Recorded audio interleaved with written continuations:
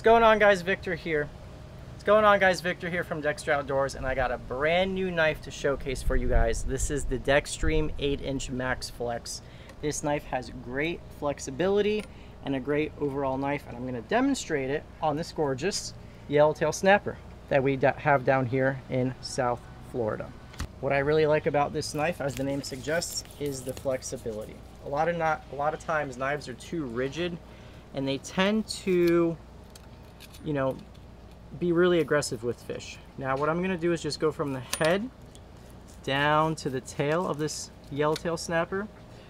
I'm gonna go and rest the knife on the fish's spine, go from the tail to the head, and I'm gonna go all the way up, and look at that gorgeous yellowtail's meat. And I'm gonna break through these little pin bones right here. You can hear them. And I'm gonna go over this snapper's rib cage, down on the other side of the backbone and take a look at what this knife is doing right now. You see that flex? That is so important when you're dealing with a delicate fleshed fish like a yellowtail snapper. These are not very firm.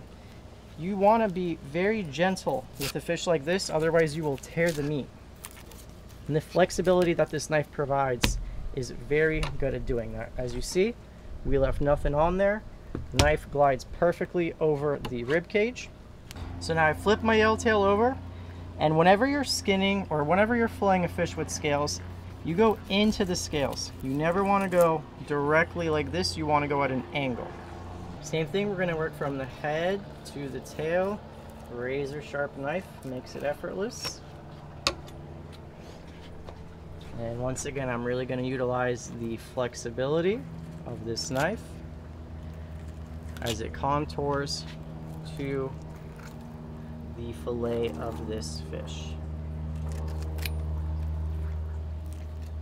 Break through the pin bones of the yellowtail, over the rib cage, down on this side of the backbone,